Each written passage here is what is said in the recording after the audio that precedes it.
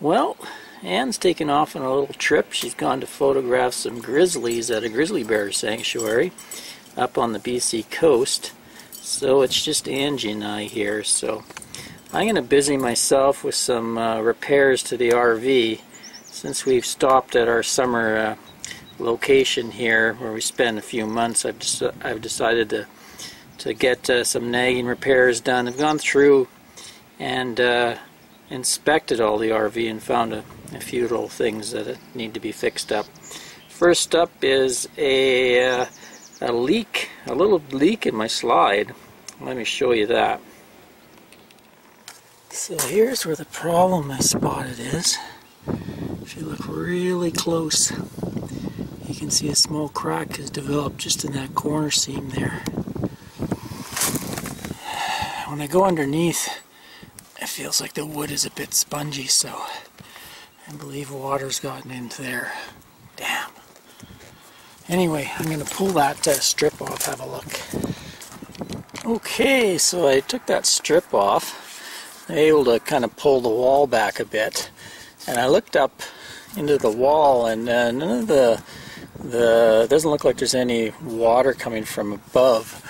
I was a little worried that maybe uh, I had a leak in the window there somewhere and it was coming down the wall, but uh, all the insulation looks dry, no signs of uh, water. And also peeked inside further in and I didn't see any signs, so that has to be where the water's getting in, just where that little uh, seal had opened up, a little bit of silicone had pulled back, and I guess, you know, this thing being the slide, all the water pours off this slide and dribbles down in a hard rain so it would just get constant water. Wish I had noticed that before. So I think what I'm going to do is try to drive some screws. It looks like they, they screw this board into a, along back here there's a an aluminum aluminum uh, rail so they screw it up into there and then they sink the, the screw into the board a bit so the slide goes in. Okay, so I'm going to drive a, a bunch of screws in there. I'll probably drill some holes first and then try to see if I can get that to suck back up and then I can put put the, the rail, the outside cover back on. Okay.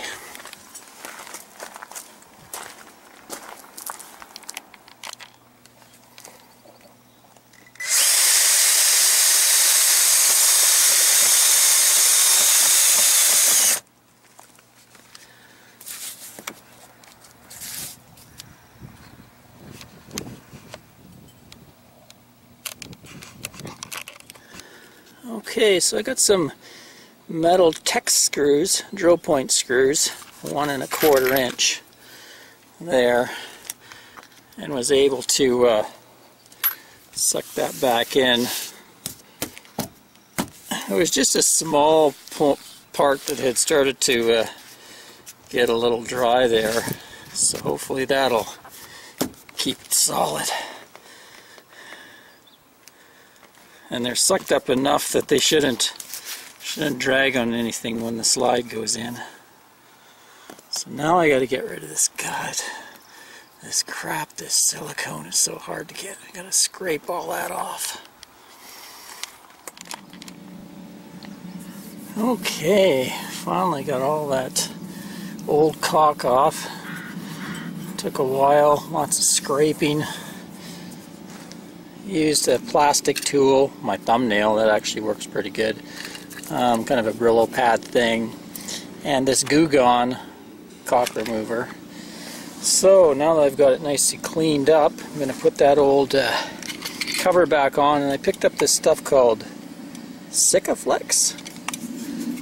Heard some pretty good stuff about it. Is at a boating and marine store.